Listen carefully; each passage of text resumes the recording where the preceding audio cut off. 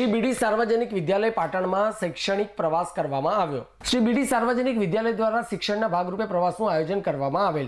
તેમાંથી શાળામાંથી મધ્ય ગુજરાતનો બે દિવસનો પ્રવાસ કરવામાં આવેલ.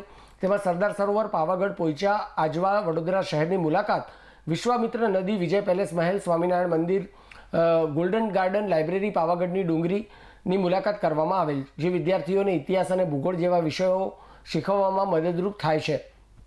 તેમાં સરદાર સરોવરમાં આવેલ પ્રદર્શન બાળકોને દેશભક્તિના મૂલ્યો શીખવી શકાય છે.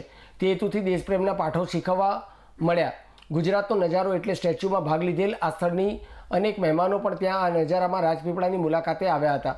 તેમજ આધ્યાત્મિક વિકાસ માટે મહાકાળી માતાના દર્શન, પાર્શ્વનાથ ભગવાનના દર્શન, હરસિદ્ધિ માતાના પ્રાચીન મંદિર ગરુડેશ્વરને ભારતના ચાર પવિત્ર સરોવરમાં દુધિયા સરોવરનો સમાવેશ થાય છે તેના પરિચય ત્યાં નર્મદા નદી અને હાલોલની કંપનીઓ અને ગરુડેશ્વર, ત્યાં પણ દેશભક્તિ અને બિન સાંપ્રદાયિકના દર્શન થાય છે.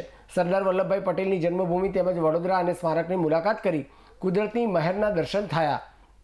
કોમર્સના અભ્યાસક્રમમાં આવતી કંપનીઓમાંની મુલાકાત અને અંજાર શહેર હથિયાર માટે જાણીતું તેમજ હસ્તકલાના કારીગર એવોર્ડ વિજેતા પબીબેન ભરતકામની તાલીમ દ્વારા આજે કેટલાય બહેનો ને રોજગાર મેળવતા કરેલ છે. તેમની સાથે સમૂહ ચર્ચા કરેલ સમગ્ર પ્રવાસનું આયોજન ડૉક્ટર બી આર દેસાઈના માર્ગદર્શનથી કન્વીનર શ્રી જતીનભાઈ પટેલ દ્વારા કરવામાં આવેલા. સમગ્ર પ્રવાસી રવિન્દ્રનાથ ટાગોરની કેળવણી યાદ કરીએ કે કુદરત કે પ્રકૃતિના ખોળે શિક્ષણ એટલે આ પ્રવાસ એ બાળકને મગજનો સમગ્ર વિકાસનો એક ભાગ છે. તેવી જ રીતે ગુજરાતના જાણીતા પ્રવાસધામો માટે સરકાર જે પ્રયત્ન કરે છે તે નજરે નિહાળતા શાળાના બાળકો ખૂબ સરસ રીતે પ્રવાસ પૂર્ણ થયો. આ પ્રવાસ આયોજક વાલીઓ જોડાનાર શિક્ષકો અને બાળદેવોને અભિનંદન પાઠવવામાં આવેલ છે.